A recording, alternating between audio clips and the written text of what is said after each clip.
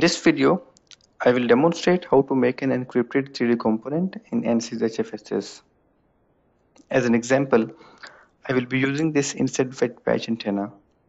The antenna geometry comprises of substrate, the radiating surface for radiation boundaries, the lump port, and perfect E boundary for the antenna and the ground plane. To make a 3D component, first of all, we select all the parts that we want to include in the component definition. Once the selection is made, go to Draw, 3D Component Library, Create 3D Component. In Create 3D Component dialog, we have different tabs. In the Info tab, we can provide information about the design, the name of the design, the owner, the email address, and etc. In the Model tab, we can see names of all the parts that we selected initially. We can extrude these parts from the 3D component definition as well.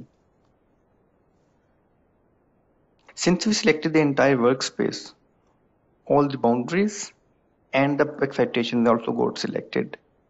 Here we have the option to include these boundaries and excitations from 3D component definition or we can exclude them. We'll leave these options checked for now.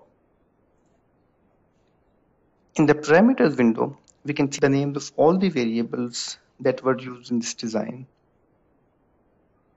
Again, we have the option to include these variables in the component definition or we can exclude them. For example, I will include only patch X and patch Y while I would like to hide all the other variables.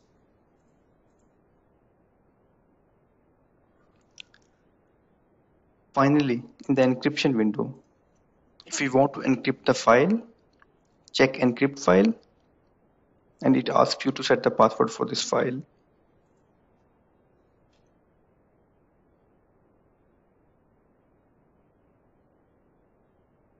It also gives us the option to allow the component editing or not. We'll check this never option for now. Once we set the password, we can hide the contents of this design by going to hide show objects. Here we see the names of all the parts that constitute the 3D component and we have the option to hide those parts for example, I would like to hide the antenna geometry and the port definition, while the, all the other parts can be visible in the 3D component definition. Once the selection is made, we can go to this image tab and we can see the view of the 3D component. Once these options are set, we can click OK, save the component as encrypted 3D model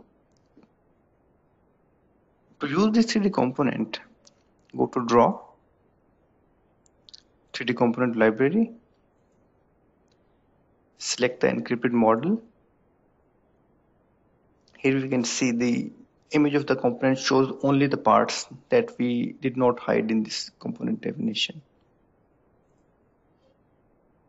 To the password Here we see all the details, the parameters, the patch X and patch Y that we included in this definition, the image of the design, and the information. Click OK. The encrypted 3D component looks like this in our design environment. In the project manager window, we can see the excitation is included, Although it shows no boundaries are included, but the boundaries are included as per the component definition. If we go to HFSS validation check, the 3D model, the boundaries and excitation are included in this definition. Set up the analysis setup and run the simulation.